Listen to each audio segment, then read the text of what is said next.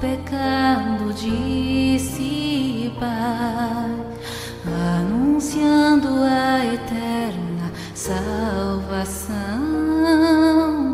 paz divina e perdão.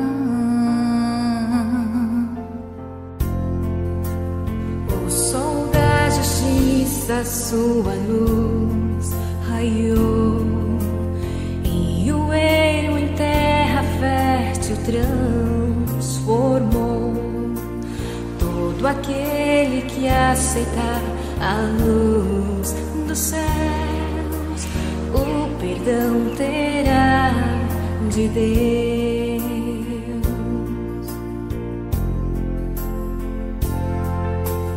Temos em Jesus a luz que não tem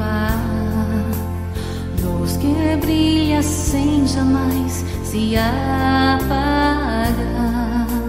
sol que nunca cessa de resplandecer,